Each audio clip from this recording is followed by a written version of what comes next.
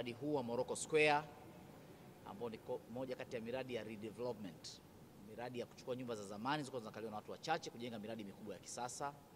Lakini tumeona na mradi wa Samia Scheme pale Kawe, ujenzi wa nyumba uh, za kuuzia ambazo wananchi wa Tanzania wanaweza wakanunua moja kwa moja, ambao mpaka tunavyozungumza umeshauza kwa asilimia kubwa, karibia nyumba zote zimekwisha. Sasa labda machache, moja uh, ni kupongeza shirika la nyumba, wamekuwa wakifanya kazi nzuri, mwendelee kufanya kazi kwa moyo katika kuhakikisha sekta ya nyumba Tanzania inaboreka.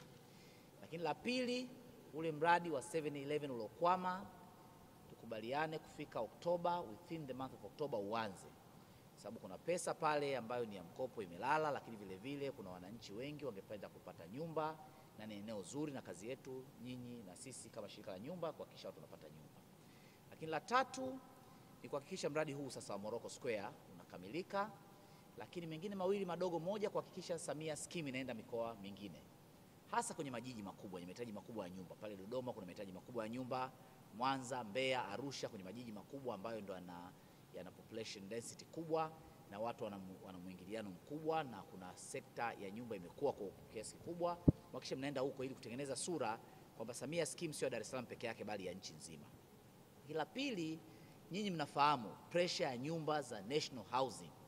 Hata waziri ameteuliwa naye na pressure ya watu wanaohitaji nyumba. Hizi hizi redevelopment, embu mhakikishe mnatengeneza mpango wa kuwa maeneo yote. Tunataka kuona ile Upanga, ile city center ikiwa na nyumba. Wale walikuwa wanajenga miaka ile ya sabini na sitini zile nyumba za ghorofa tatu walikuwa wanajenga kwa population ya Watanzania wale milioni tisa wakati wa uhuru.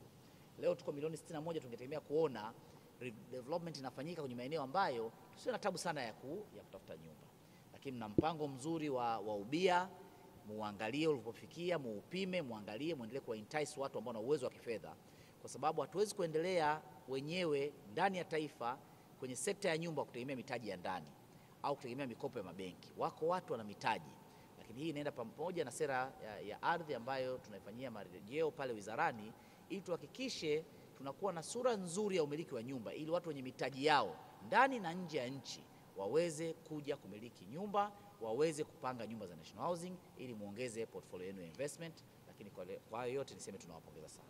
Sisi kama shirika la nyumba tunapofanya miradi hii mikubwa tunalipa kodi zote za serikali. Kwa hiyo hapa manake kwenye uchumi vile vile na sisi tuna mchango katika kodi za serikali, lakini amezungumza habari ya ajira, lakini vile vile sehemu za kufanyia biashara. Hawa wafanyabiashara wote watakuwa wanalipa kodi zao. Maanake sisi tulichofanya ni kuweza kutengeneza fursa ili wafanyabiashara waje wafanye biashara na kulipa kodi zao. Kwa hiyo maanake ni uchumi mkubwa sana ambao utatokana na uwekezaji ambao shirika linafanya. Ni mradi ambao tunategemea baada ya kuwa uh, tumepata wapangaji kwenye maeneo ya maofisi utakuwa unatuingizia takriban milioni mia nane na hamsini kwa mwezi.